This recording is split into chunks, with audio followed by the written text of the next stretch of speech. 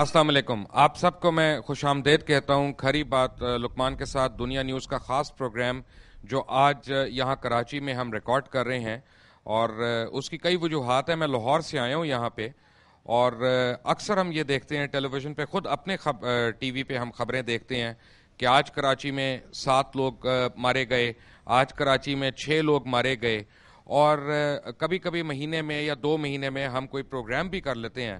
تو ہم سی P L C کی رپورٹس وغیرہ دکھاتے ہیں، سناتے ہیں کہ جی اعداد و شمار دو ہزار دس میں اتنے لوگ مارے گئے، دو ہزار گیارہ میں اتنے لوگ مارے گئے، اتنے لوگ ہوائی فائرنگ کا شکار ہوئے، اتنے لوگ ٹارگٹ کلنگ کا شکار ہوئے۔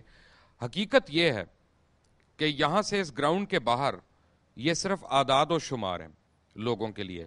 کچھ ڈیجٹس ہیں کہ کبھی وہ درجن ہو جاتے ہیں، کبھی وہ پانچ درجن ہو جاتے ہیں، کبھی وہ دس درجن ہو جاتے ہیں۔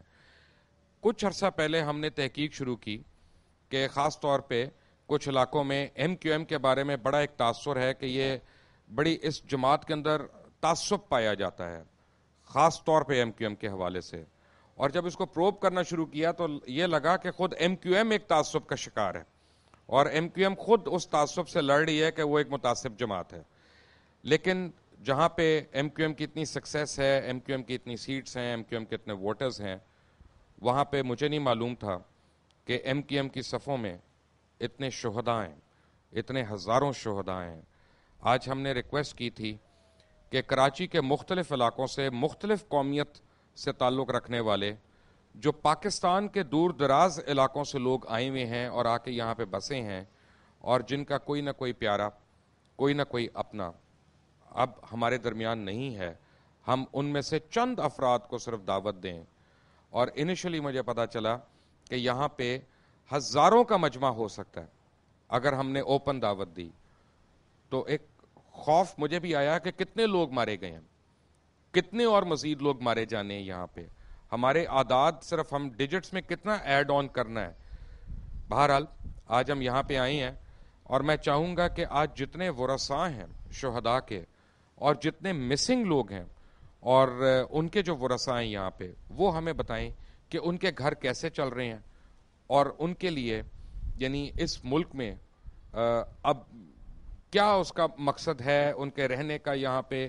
کہ جب مجھے پتا ہے کہ اگر کسی کا اپنا پیارا چلا جائے اور بے دردی سے مارا جائے، تو پھر اس کے اندر غصہ بھی آتا ہے، اس کے اندر کرب بھی ہوتا ہے، اس کے اندر شکایت بھی ہوتی ہے۔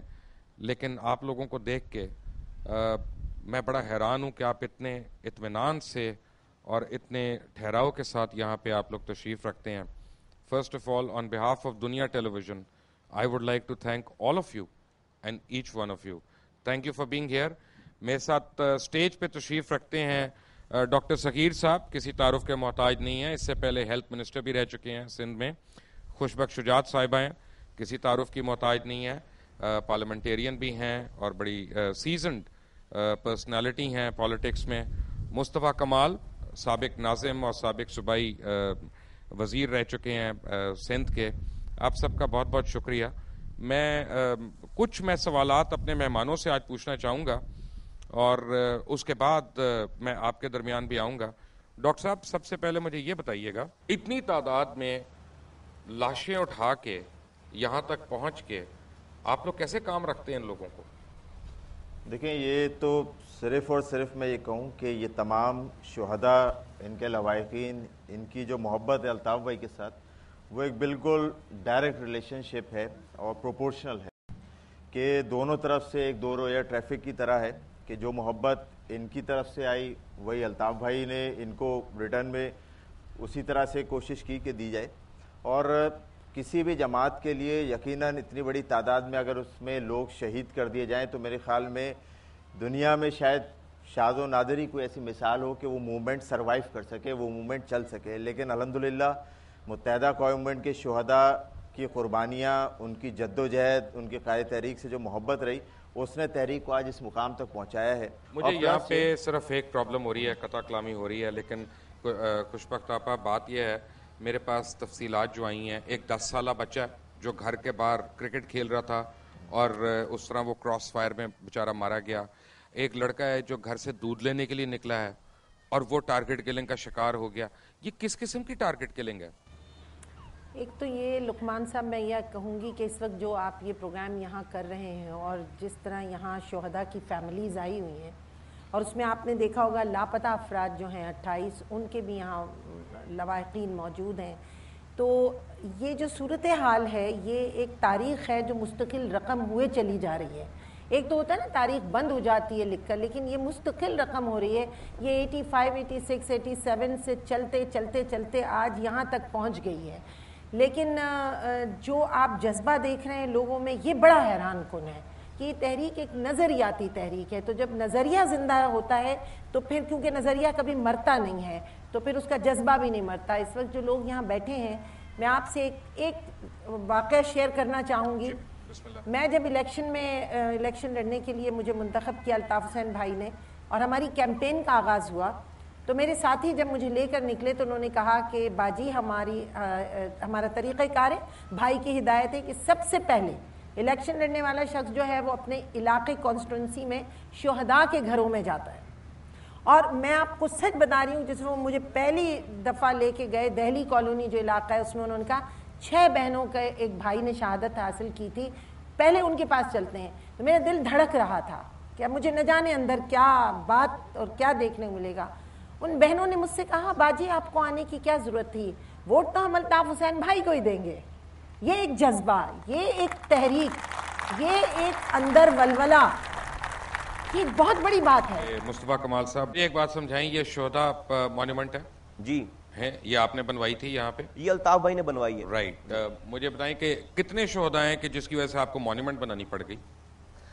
آج مبشر لقمان صاحب شاید لوگ یہ سمجھتے ہوں کہ جب جب ہم حکومتوں میں نہیں رہے ہیں جبھی ہمارے ساتھی شہید ہوئے ہیں۔ لوگ یہ سمجھتے ہیں کہ جب ایم کیو ایم بہت پرانی نئی جماعت تھی ایٹی سکس میں اس وقت ہم پر ہمیں ہمارے شہدہ شہید ہوئے جب تک ہم حکومت میں تھے ہمارے اس تین سالوں میں تین سو ساتھی شہید ہوئے ہیں انکلوڈنگ ہمارے ایم پی اے یہاں کے اس پاک کراچی کے ایم پی اے رضا حیدر بھائی بھی شہید ہوئے ہیں۔ اور صرف پچھلے سال اس دو ہزار گیارہ اس دو ہزار دس دو ہزار گیارہ میں دو سو ہمارے سے زیادہ ہمارے ساتھی شہید ہوئے ہیں۔ یہاں پہ پرابلم یہ ہے کہ میں صرف کارکنان کا ذکر نہیں کرنا چاہتا میں آپ کو چند ایسی فیملی سے بھی ملوانا چاہتا ہوں جو سکرین پہ آپ جن کے انٹرویوز دیکھیں گے۔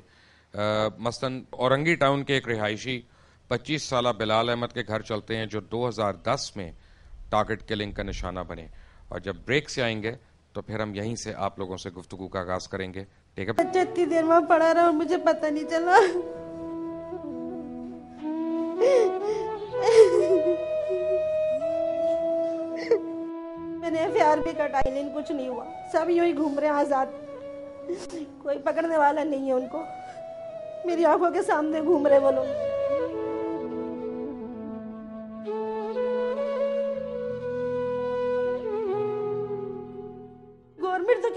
کی نہیں ہے کسی نے ایک دفعہ آ کے یہ نہیں پوچھا کہ اس گھر میں ایک کمانے والا تھا، اس کے گھر کا کیا حال ہے؟ ایسے پتہ نہیں کتنے لوگ یہاں مرتے ہیں۔ کوئی پوچھنے والا نہیں ہے، کسی کو دیکھنے والا نہیں ہے۔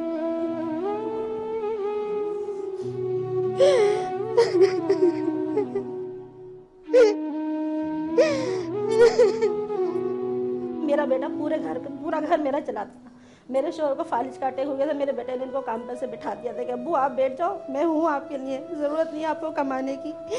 میرا بیٹا پورا گھر چلاتا تھا، میری پانچ بیٹیاں ہیں اور ایک میرا چھوٹا بیٹا ہے، آٹھ سال کا۔ میرا تو گھر کا سنبھالنے والا کوئی نہیں ہے۔ ظالموں نے یہ نہیں سوچا کہ کس کو مار رہے، کیسے مار رہے، کیوں مار رہے۔ میرے بچے کو مار دیا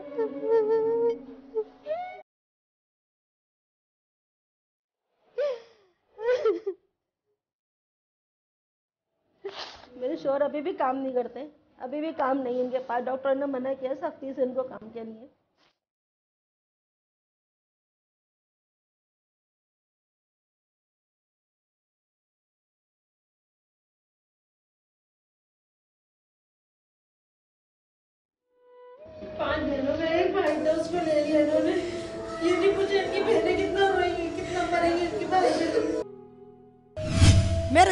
کا بچہ تھا۔ میرا بچہ اتنا تھا۔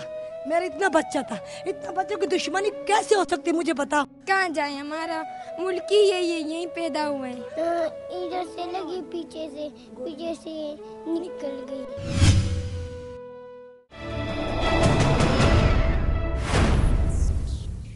آپ لوگوں میں سے یہاں پہ کوئی قصبہ علی گڑھ سے ہیں بیٹھے ہوئے حضرات؟ آپ ہیں؟ ایگزیکٹلی کس جگہ سے آپ آپ بیٹھے رہے بیٹھے رہے۔ کس جگہ سے تعلق ہے؟ قصبہ۔ قصبہ میں ہم سنتے ہیں کہ وہاں پہ بڑے لوگ مارے گئے اور ہزاروں کی تعداد میں اور پھر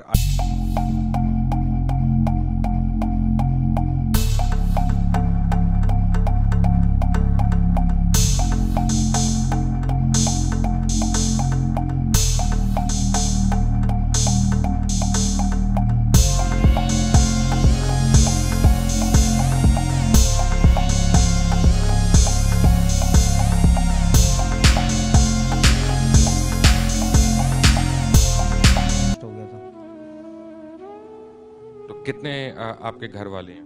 میں پانچ بہنیں ہیں اور تین بھائی ہیں۔ ابھی دو بھائی ہیں ایک میں ہوں ایک بڑا۔ وہ جو بھائی شہید ہوا اس کی عمر کیا تھی؟ وہ مجھ سے دو تین سال بڑا تھا۔ تین سال مجھ سے بڑا تھا۔ تشریف رکھیں۔ مصطفیٰ کمال صاحب ایف آئی آر کیوں نہیں درج ہوتی؟ آپ لوگ تو حکومت میں بھی بھی رہے ہیں۔ کہ آج سے اس سال پچھلے سال ہم یہ تین سالوں سے حکومت میں تو ہیں ہم۔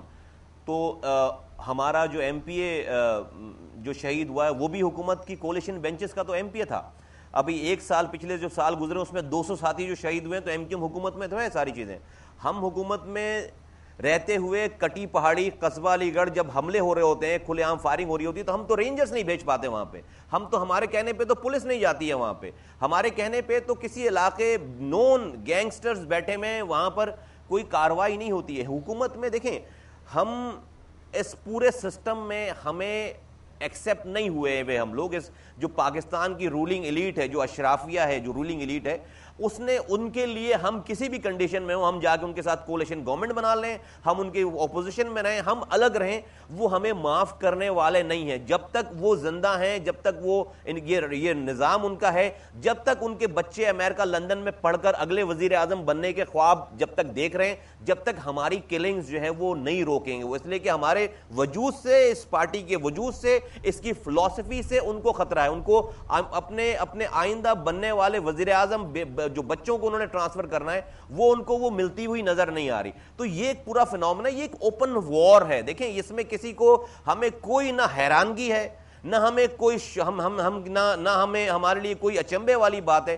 ہمیں پتا ہے کہ آج یہی ایم کیو ایم اور قائد تحریک الطاف حسین بھائی ان اپنی اپنی جو فلسفی ہے، جو middle class lower middle class اور غریبوں کی کی بات کرنے کے بجائے انہی اشرافیہ کو ٹکٹ دینے لگے، انہی کی حمایتیں شروع کر دیں، انہی کو پیسے لے کر یہ ٹکٹ بانٹنے لگے، ہماری کلنگ بند ہو جائے گی۔ لیکن ہم ہم کیوں آج اس اس پارٹی کے ساتھ جڑے ہوئے ہیں یا اتنے سارے لوگ یہ کیوں جڑے ہوئے ہیں؟ اپنے شہدا کو قربان کرنے کے باوجود بھی کہ آیا ہم نے، ہمارے بڑوں نے ہمارے لیے نہیں کیا کچھ۔ ہماری بزرگوں نے ہمارے لیے کچھ نہیں کیا کہ اسی وجہ سے جدوجہد نہیں کی۔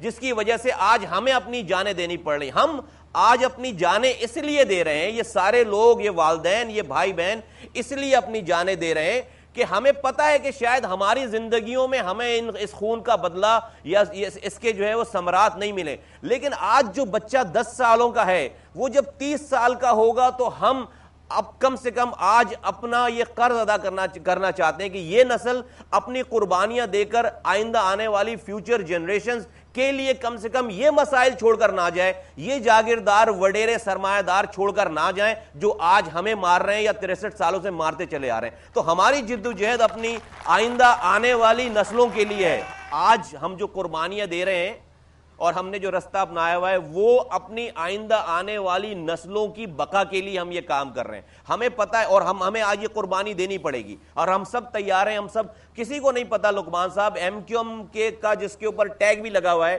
یا جو ایم کیو ایم والوں سے ہمدردیاں بھی کرتا ہے اس کو نہیں پتا کہ اس کی موت جو ہے وہ کتنے منٹ کے بعد کتنے دن اور کتنے گھنٹے کے بعد آ جائے گی۔ یہاں پہ میں دیکھ رہا ہوں آپ السلام علیکم۔ آپ کا تعلق اقلیتی جماعت سے ہے۔ کرسچن ہے جی مسیحی ہیں ہم۔ اور دلاور مسیح میرا چھوٹا بھائی تھا جو ٹارگٹ کلنگ میں شہید ہوا نائنٹین سپٹمبر کو۔ ایک تو ویسے ہی آپ اقلیت میں اوپر سے آپ ایسی جماعت میں آگے وہ بھی اقلیت میں کوئی بڑی جماعت میں نہیں آنا تھا؟ نہیں بڑی جماعت ہماری یہی ہے۔ دلاور بھائی کی عمر کیا تھی جب ان کی شہادت ہوئی؟ ٹوینٹی ٹو ایئرس اور کیا کرتے تھے؟ وہ گارمنٹس فیکٹری میں ڈیوٹی کرتے تھے۔ تو ان کو مارا کیوں کیا؟ وہ باہر روڈ پہ بیٹھے ہوئے تھے اور اچانک آئے ہیں۔ انہوں نے ان کی تلاشی وغیرہ لی اور آتے میں جو ہے کہ انہوں نے وائی فن نکال کے فائٹ کر دیا اس میں۔ تلاشی میں کیا ڈھونڈ رہے تھے؟ والیٹ وغیرہ لیا اور اس کا موبائل جو تھا۔ اور آپ کو نہیں پتا چلا کس نے مارا؟ نہیں پتہ نہیں چلا جب مجھے وہاں سے بھاگتے ہوئے لڑکوں نے بتایا تو میں نے اپنے ہاتھوں سے اپنے بھائی کو اٹھائی یہاں سر پہ گولی لگی تھی اور پورے خون میں لت پت لاش میں نے کی اٹھائی وہاں سے ہاسپٹل لے کے گئے۔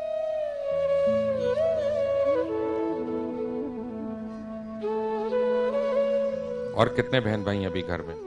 ابھی دو میری سسٹر ہیں کنواری ہیں وہ اور میرے سے چھوٹا جو ہے وہ نشہ وغیرہ کرتا ہے ڈرگس وغیرہ کا۔ میں ہی میرے دو بیٹے ہیں اور یہ میری والدہ بیٹھی ہوئی یہ بھی بیمار رہتی ہیں تقریباً۔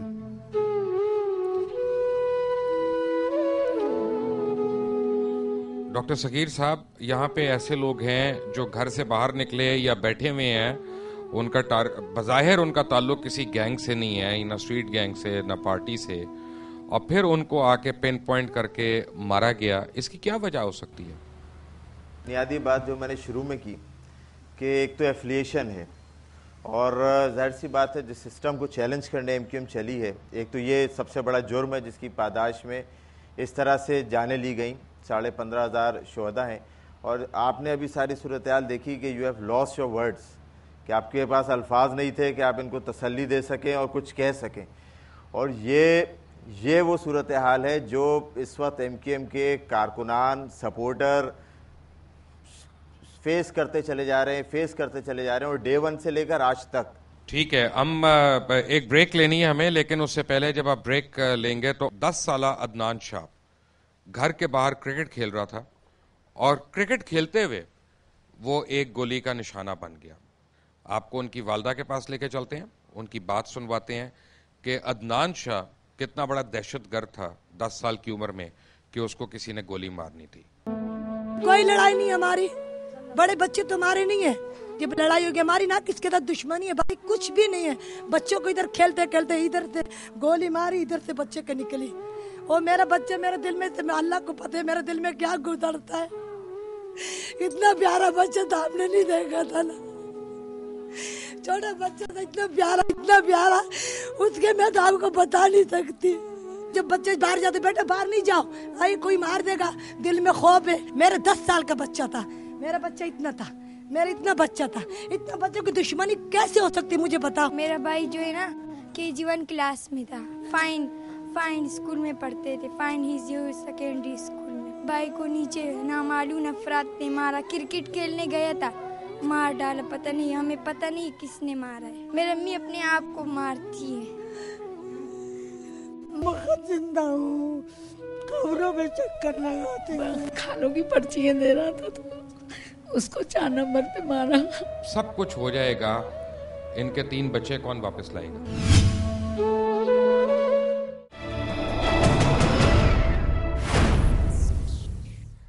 Welcome back from the break اور آج ہم یہاں شہدا مونیمنٹ کے سامنے شہدا گراؤنڈ میں ہیں، جہاں پہ پچھلے کئی سالوں میں شہید ہونے والے جو ہمارے پاکستانی بہن بھائی ہیں، ان کے لواحقین، ان کے گھر والے یہاں پہ موجود ہیں۔ اور کچھ فیملیز یہاں پہ بھی بیٹھی ہوئی ہیں۔ اگر آپ ان تک آواز لے جائیں، بتائیں کہ وہ یہاں پہ کیوں ہیں آج؟ السلام علیکم آپ یہاں پہ کیوں ہیں آج؟ میرا داماد کا مرڈر ہوا چورانوے میں، دکان پہ بیٹھے ہوئے تھے۔ کارکن تھے، ان کو آ کے مار دیا تھا۔ پھر اس کے بعد میں، ایک سال کے بعد میں، اس کے بھائی کو چار نمبر کے اسکول گراؤنڈ میں مارا اور بوری میں لاش کر کے ارم بیکری کے پاس ڈال دی۔ پھر ستانوے میرے بھتیجا، نور عالم کھانوں کی پرچیاں دے رہا تھا تو اس کو چار نمبر پہ مارا، حقیقی والوں نے۔ تین گیا میری بچی جو بیوہ ہے۔ تین سال سے ایکسیڈنٹ ہو گیا، گھر پہ معذور پڑ گئی، نہ چل سکتی، نہ پھر سکتی۔ ان لوگوں نے بہت ساتھ دیا ہے اور اب تک دیتے چلے آ رہے ہیں۔ چھ مہینے ہاسپٹل میں داخل رہی، چھ آپریشن ہو گئے، لیکن وہ بالکل پیر سے معذور۔ باپ ان کا تین سال سے معذور پڑا، نہ ہمارے گھر میں اور کوئی ہے۔ اس کے دو بچے اب ہیں، ایک نے میٹرک کے پیپر دیے۔ اور ایک جو ہے وہ جنا کالج میں وہ پڑھ رہا ہے اس کے بیوہ کے دو بچے دونوں بیٹے۔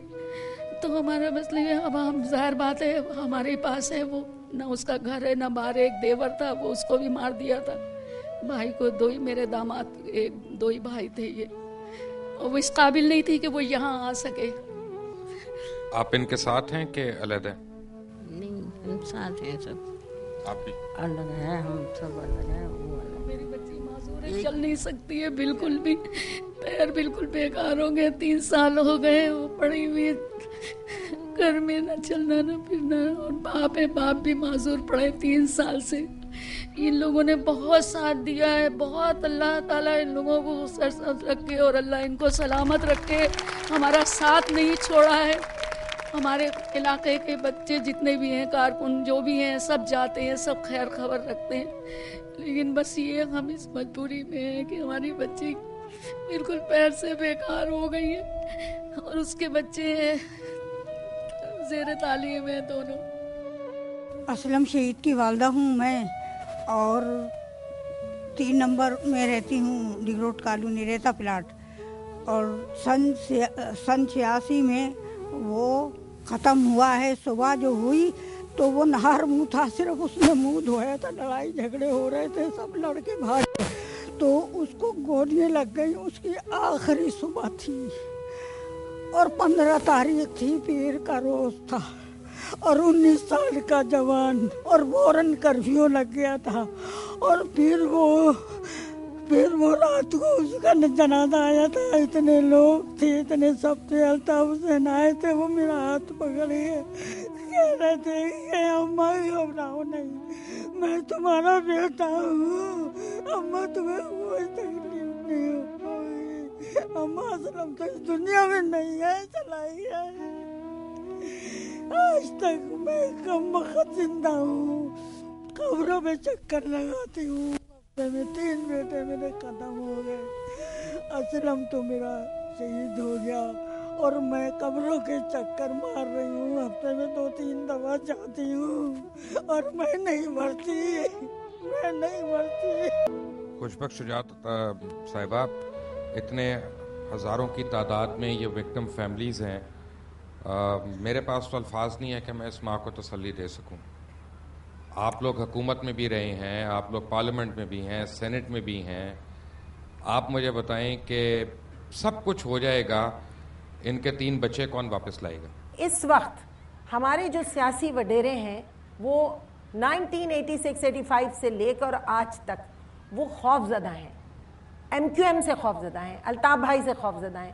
اور اس خوف کی بنیاد پر وہ ان مظلوموں پر، ان نہایت ہی معصوم لوگوں پر وہ حملے کرتے ہیں۔ ان کے وہ نظریات کو چھیننا چاہتے ہیں، ان کی وفاداریوں کو چھیننا چاہتے ہیں۔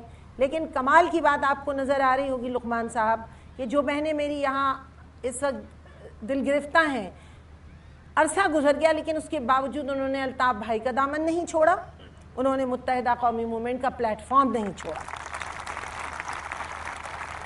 جیسا بھی نعرہ لگا تھا کہ لہو رنگ لائے گا، تو وہ لہو رنگ لائے گا اور انشاءاللہ تعالی نہ یہ لہو رائے گا جائے گا اور نہ کبھی ایسا ہوگا کہ ان معصوموں کا خون رائے گا جائے۔ گا کسی پاکستان کی عدلیہ نے، کسی پاکستان کی اسمبلی میں اتنی جرت ہوئی آج تک کہ ان میں سے ایک بھی معصوم آدمی کے لواقین سے مل کر جا کر اپنی اسمبلی میں بات کریں اور ان کے لیے بھی افسوس کریں۔ آج تک نہیں ہوا پاکستان میں۔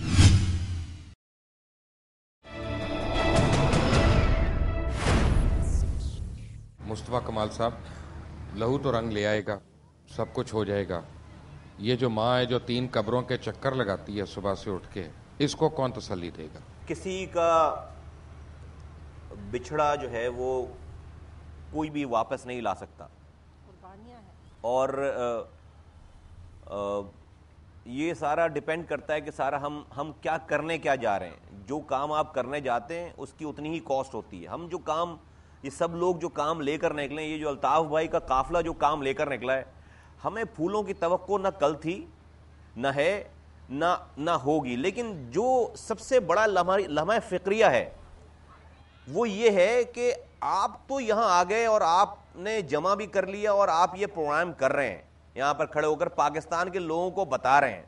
جو سب سے بڑا لمحہ بڑا لمحہ فکریہ ہے اس ملک کا اور اس قوم کا، اس پاکستانی قوم کا، وہ یہ ہے کہ آج اتنی ساری قربانیوں کے باوجود، آج ہزاروں لوگوں کے شودا کی کی پارٹی ہونے کے باوجود آج بھی ٹی وی کھولو تو ساتوں کوس دور بیٹھ کر کوئی بہت بڑا فلاسفر جو ہے وہ یہی فلاسفی بگار رہا ہوتا ہے کہ یہ جی یہ تو چند لوگوں کا ٹولہ ہے یہ بدماشوں کا ٹولہ ہے یہ فلاں ہیں یہ فلاں ہیں یہ ہر دوسرا آدمی جو ہے وہ یہی بات کر رہا ہوتا ہے۔ پاکستان کے لوگوں کو یہ واقعات نہ یاد ہیں نہ وہ اسے یاد کرنا اور دیکھنا کافی تو پتہ بھی نہیں ہے لیکن مجھے صرف ایک بات بتائیں۔ یہاں پہ ایک کانٹرڈکشن ہو رہی ہے۔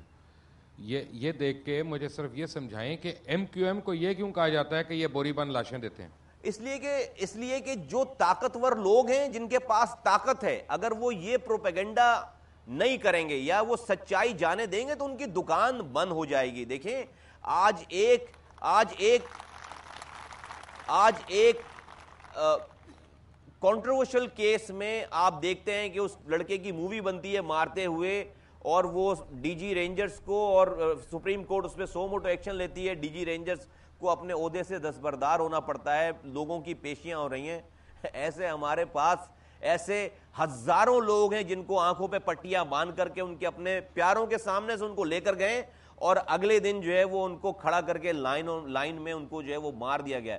میں تو یہاں پر جھنجھوڑنا چاہتا ہوں پاکستان کے سو کالڈ انٹلیکچوئلس کو میں یہاں پر آواز دینا چاہتا ہوں کہ پاکستان کی سو کالڈ آزاد عدلیہ کو اور میں یہاں پر آواز دینا چاہتا ہوں پاکستان کی سو کالڈ میڈیا کو، جس سے آپ کا بھی تعلق ہے اور ایسے آپ جیسے لوگ ابھی دو پرسنٹ ہیں اس میڈیا میں، جو وہ ان کی دل کی بات ہوتی ہے، وہ دکھانا اور بتانا چاہتے ہیں، لیکن جو ان کو سوٹ نہیں کرتی بات، اس کو وہ بتانا یا دکھانا نہیں چاہتے، خدا کی قسم، اتنا خون اگر کہیں اور بہتا اور اس کو اس کا پراپر اس کی پروپیگیشن ہوتی اور لوگوں کو دکھایا جاتا تو پتہ نہیں کتنے انقلاب آ چکے ہوتے اور کتنے ملک تباہ و برباد ہو چکے ہوتے اور کتنا کتنی نسلیں اس سے فائدہ۔ افسوس ہمیں صرف یہ ہوتا ہے کہ ہمیں اتنی قربانی دینے کے باوجود آج بھی ہماری قربانیوں کی ریکگنیشن نہیں ہے۔ آج بھی ہماری قربانیوں کو غلط سمت میں جو مجھے بتائیں، ہم نے، ہم بیٹھ کر یہاں کراچی میں یہ دیکھتے ہیں کہ یہاں پر دیکھیں، سب سے پہلی بات یہ کہ کراچی کے کا رہنے والا، ہر رہنے والا ہمارا محسن ہے، ہمارا بھائی ہے، چاہے وہ پختون ہو، پنجابی ہو، سندھی ہو، بلوچی ہو، کسی رنگ نظر سے تعلق رکھنے والا انسان اگر یہاں پہ رہتا ہے، وہ ہمارا بھائی ہے اور یہ میری میری بات نہیں ہے، یہ الطاف بھائی کی تربیت ہے۔ آج ہماری پارٹی میں تمام زبانوں کے بولنے والے لوگ ہیں، لیکن آپ کی توسط سے میں یہ بتانا چاہوں یہاں پر کہ اگر کوئی یہاں پر دو پختون مر جائے اور جب یہاں پر جو وہ بھی ہمارا ہی نقصان ہے، اس لیے اس کراچی میں مرتا ہے، پختون تو وہ ہمارا نقصان ہے۔ ہم ہم اگر مارنے والے ہوتے تو ہم جب ہمارے پاس پاور ہوتی تو ہم لوگوں کو مار رہے ہوتے۔ جب ہمارے پاس جب پاور تھی، دو ہزار دو سے لے کر دو ہزار آٹھ تک ہمارا وزیر داخلہ تھا، ہمارا ناظم تھا، ہمارا گورنر تھا منسٹر تھا، ایک واقعہ بتا دیں کہ کسی کی کوئی ٹارگٹ کلنگ ہوئی ہو۔ لیکن یہ ٹارگٹ کلنگ آج جب ہمارے پاس کچھ نہیں ہے جبھی یہ لوگ کیوں مارے جا رہے ہیں؟ وجہ یہ ہے کہ آج دو پختونوں کو یہاں مار کر، پنجابیوں کو مار کر، بلوچوں کو مار کر جب آپ لاشیں بھیجتے ہیں، تو ہم یہ دیکھتے ہیں کہ سرد اسمبلی میں خیبر پختونخوا میں، کراچی میں مارے جانے والے پختونوں کے لیے کراچی قرارداد مذمت جو ہے وہ پیش کی جاتی ہے اور وہاں پر ڈیبیٹ ہوتی ہے۔ دو بلوچ مارے جاتے ہیں کراچی میں، بلوچستان اسمبلی میں قرارداد مذمت پیش ہوتی ہے اور وہاں پر ڈیبیٹ ہوتی ہے۔ دو پنجابی مارے جاتے ہیں پنجاب اسمبلی میں قرارداد مذمت پیش ہوتی ہے اور وہاں پر اسمبلی میں ڈیبیٹ ہوتی ہے۔ یہ ساڑھے پندرہ ہزار اپنے شہدہ کو لے کر ان کے خون کو کہاں جا کر میں قرارداد پیش کروں؟ کون سی اسمبلی میں میں قرارداد پیش کروں جا کے جہاں پر میں ان لوگوں کو لے کر جا سکوں؟ کسی کسی پاکستان کے عدلیہ نے، کسی پاکستان کی عدلیہ نے، کسی پاکستان کی اسمبلی میں اتنی جرت ہوئی آج تک کہ ان میں سے ایک بھی معصوم آدمی کے لواقین سے مل کر جا کر اپنی اسمبلی میں بات کریں اور ان کے لیے بھی افسوس کریں۔ آج تک نہیں ہوا پاکستان میں۔ آج تک نہیں ہوا۔ دو لوگ مارے جاتے ہیں، ڈاکو مارے جاتے ہیں، اسمبلیوں میں قراردادیں پیش ہوتی ہیں۔ میں کدھر لے کر جاؤں ان پندرہ ہزار لوگوں کی قرارداد؟ ہماری قرارداد ہم ان لاشوں کو کہاں لے کر جائیں؟ دو لاشیں کفن پیک کر کے آپ ادھر بیچتے ہو، ادھر بیچتے ہو۔ یہ ایک ڈیزائن پالیسی ہے۔ یہ ایک ڈیزائن پالیسی ہے۔ پاکستان میں جاگیردار، وڈیرا سرمایہ دار، یہ دو پرسنٹ طبقے جن کے اپنی نجی جیلیں ہیں، جن کے اپنی زمینیں ہیں، اپنے ہاریوں کو قید کر کے رکھتے ہیں، وہ پاکستان کی آئندہ ساٹھ نسلوں تک، آئندہ سات نسلوں تک وہ حکمراں رہنا چاہتے ہیں۔ اس لیے وہ ہمارے لوگوں کو، ان معصوم لوگوں کو، کیا بات کی ہماری بہن نے؟ چھیاسی میں تو ایم کیوم نہیں تھی، دو سال کی تھی ایم کیوم صرف۔ ایم کیوم کو کوئی نہیں جانتا تھا نائنٹین ایٹی سکس میں۔ پھر ان معصوم کے گھروں، معصوم لوگوں کے گھروں میں قصبہ علی گڑھ میں حملہ کیوں ہوا؟ چھ گھنٹے تک کوئی پولیس نہیں تھی کراچی کی، کوئی رینجرز نہیں تھی، کوئی آرمی نہیں تھی۔ ایک ایک گھر میں جا کر ساڑھے تین سو لوگوں کو مار کر زندہ جلایا گیا۔ عورتیں شامل ہیں، بچے شامل ہیں، بزرگ شامل ہیں، جوان شامل ہیں۔ ساڑھے چھ گھنٹے تک کسی نے وہاں پہ کوئی نظر نہیں اٹھائی۔ پکا قلعہ آپریشن کرتے ہیں۔ میری مائیں بہنیں سر پہ قرآن شریف لے کر نکلتی ہیں۔ کیوں نکلتی ہیں؟ روڈ پہ۔ پکا قلعہ میں کہ بھائی چھ دن سے ان کے گھروں کا پانی بند کر رکھا ہے۔ چھ دنوں سے چھ دن سے ان کی گیس بند کر رکھی ہے۔ چھ دنوں سے ان کو گھر سے نہیں نکلنے دے رہے۔ اسی پاکستان کی سو کال جمہوری حکومت کے دور میں ایٹی ایٹ میں، وہ عورتیں اپنے بچوں کو لے کر قرآن شریف سر پہ لے کر جب باہر نکلتی ہیں، ہزاروں پولیس والے ان کو گولیوں کا نشانہ بناتے ہیں۔ چلو میرے ساتھ پکا قلعہ میں تمہیں دکھاتا ہوں، مبشر لکمان صاحب، عورتوں کی بچوں کی خبریں پکا قلعہ میں کدھر لے کے جاؤں میں ان لوگوں کو، ان تمام لوگوں کو؟ تیس دسمبر نائنٹین ایٹی سکس کو قادر مقصی نے پورے سندھ بھر میں، حیدرآباد میں چوکوں پہ، علاقوں میں جا کر، مساجد کے آگے جا کر، بازاروں میں جا کر اندھا دن فائرنگ کرتے ہیں، سارے لوگ دہشت گرد آتے ہیں انڈسکریمنیٹ فائرنگ کرتے ہیں۔ تیس دسمبر ثانیہ ہوتا ہے، ساڑھے تین سو انسان مارا جاتا ہے اسپتال میں۔ ٹخنوں تک ٹخنوں تک بلڈ تھا جہاں جہاں، جس دن یہ یہ واقعہ پیش آئے کہاں لے کے جاؤں میں ساری لاشیں؟ کس کو دکھاؤں؟ پھر آپ جیسے لوگ جب ٹی وی پروگرام کرتے ہو، جب دوسرے شہروں میں بیٹھ کر کومنٹری کرتے ہو، تو آپ ہمیں ہی جو ہے وہ دہشت گرد بتا رہے ہوتے ہو۔ آپ ہمیں ہی دہشت گرد لکھ رہے ہوتے ہو۔ آپ ہمیں ہی جو ہے وہ اس ملک کا ایجنٹ بتا رہے ہوتے ہو کہ ہم دنیا کے دوسرے ملک کے ایجنٹ ہیں۔ خدا کی قسم، کسی نسل میں اتنی قربان قربانی ہو جائے اگر اسٹیٹ کی طرف سے اتنی اتنا ظلم ہو جائے وہ لوگ پتہ نہیں اس, اس, اس ملک کو کہاں ڈبو دینے کی بات کرنا شروع کر دیں۔ آفرین ہے کراچی کے ان شہدہ کی فیملیز کے اوپر اور ایم کیوم کے اوپر کہ اتنی قربانی دینے کے باوجود بھی آج اگر پاکستان سے کوئی سب سے زیادہ مخلص ہے تو وہ انہی کے والدین ہیں اور یہی لوگ اور یہی پاک کراچی کے لوگ اور ایم کیوم کے لوگ پاکستان سے مخلص ہیں۔ اس پروگرام کا بقیہ حصہ آپ دیکھ سکیں گے کل رات آٹھ بج کر پانچ منٹ پر۔